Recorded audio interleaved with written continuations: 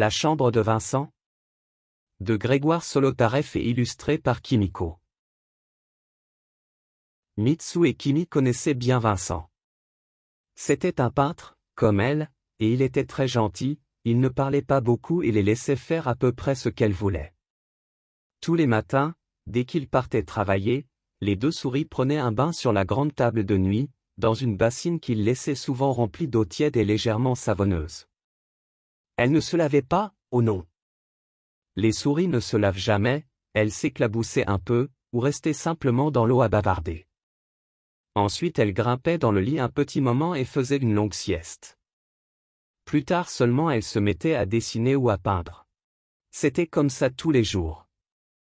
Elles aimaient beaucoup cette chambre calme et claire, et en plus assez pratique puisque Vincent y laissait toujours quelques tubes de couleur, des pinceaux et des crayons.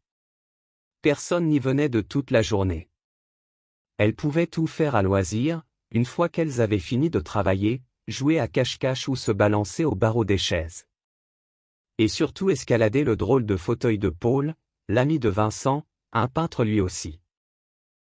Vincent avait bien remarqué qu'il y avait des souris dans sa chambre, elles laissaient souvent de petites saletés dans les draps, des miettes de pain ou des morceaux de savon, mais il n'avait rien dit au propriétaire de la maison ni à la femme de ménage. Il s'en fichait. Il était vraiment gentil. Vincent savait bien que les souris ne sont pas très propres, il trouvait ça normal.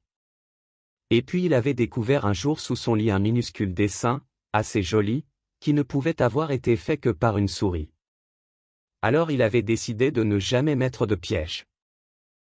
Un jour, pourtant, il arriva une chose terrible.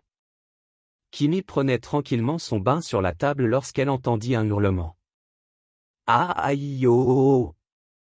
Elle comprit qu'il était arrivé quelque chose de grave à sa sœur et se précipita à son secours.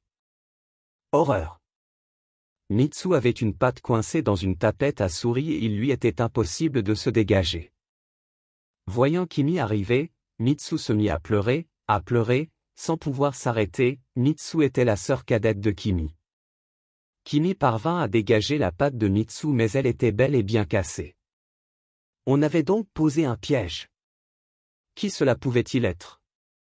C'est peut-être Paul, dit Kimi, une fois Mitsu un peu calmé.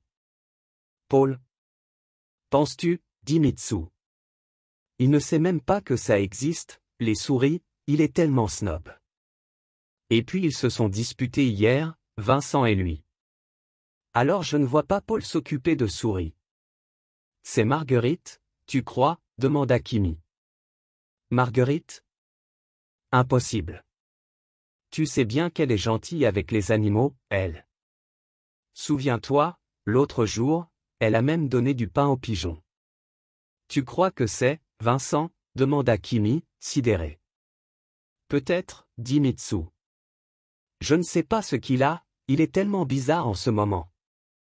Elles avaient remarqué en effet que Vincent ne sifflait plus du tout depuis quelques jours et qu'il parlait tout seul, mais elles ne s'en étaient pas vraiment inquiétées. Elles restèrent un moment silencieuses. Elles pensèrent que si c'était lui qui avait posé ce piège, ça voulait dire qu'il était devenu complètement fou.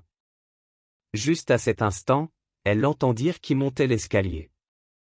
En courant, Kimi traîna Mitsu à l'abri. Il fallait qu'elle y parvienne avant que Vincent n'arrive sinon elles seraient perdues toutes les deux. Car jamais elle n'abandonnerait sa sœur. Elles se tenaient l'une contre l'autre, silencieuses et prêtes à mourir ensemble s'il le fallait, lorsque Vincent entra dans la pièce. Il trébucha, renversa une chaise et fit tomber son chevalet tous les pinceaux et les tubes se répandirent sur le sol dans un bruit épouvantable. Les deux souris entendirent ensuite un fracas de vaisselle qui tombait par terre, puis les ressorts du lit qui grinçaient.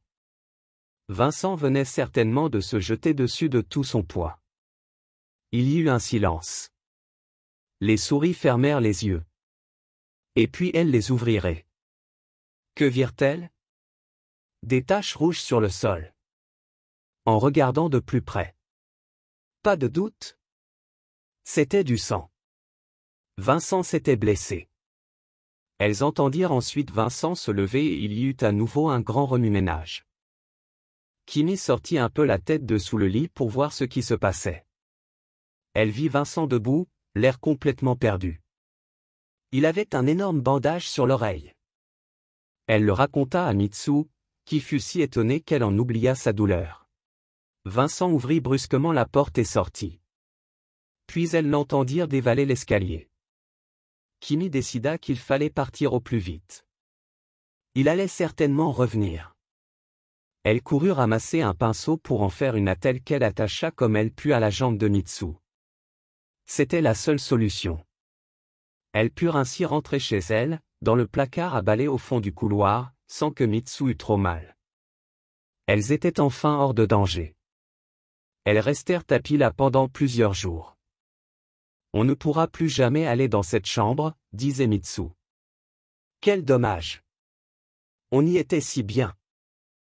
Tout de même, qui a bien pu mettre ce piège se demanda Kimi un matin en se réveillant.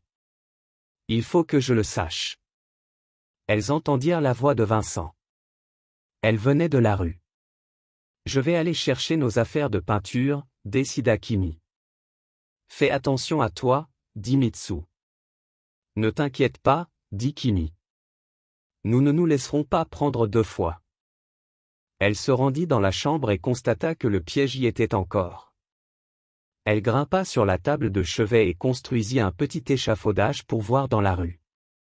Elle vit en effet Vincent, il avait encore son bandage sur la tête. Oh. Il était avec une femme. Oh. Elle lui donnait un baiser. J'ai compris, se dit Kimi. C'est elle qui a posé le piège. Les femmes nous détestent. Elle courut le dire à Mitsu. En plus, ajouta Mitsu, Vincent a dû lui dire qu'il nous aimait bien. Ça l'a rendue jalouse et elle a voulu nous attraper. Mitsu mit trois bonnes semaines à guérir de sa blessure. Vincent aussi. Les deux souris aimaient tellement cet endroit qu'elles n'arrivaient pas à le quitter. Alors, comme elles ne pouvaient plus aller peindre et s'amuser dans la chambre de Vincent, elles s'installeraient dehors, sur la place, pour faire des portraits de leur maison. Elles étaient si petites que personne ne les remarquerait. Et puis un jour elles découvrirent un piège dans leur propre placard. Après quelques larmes, elles décidèrent de partir dès le lendemain. Décidément, on ne voulait plus d'elles. Elles avaient entendu parler d'un jeune homme qui adorait les animaux et la peinture. Il s'appelait Henri. Il habitait Paris. Là-bas on sera sûrement heureuse, dit Kimi. Sauf s'il y a un chat, dit Mitsu. Dès l'aube, emportant toutes leurs affaires, elles quittèrent leur petite ville par un chemin à travers les champs.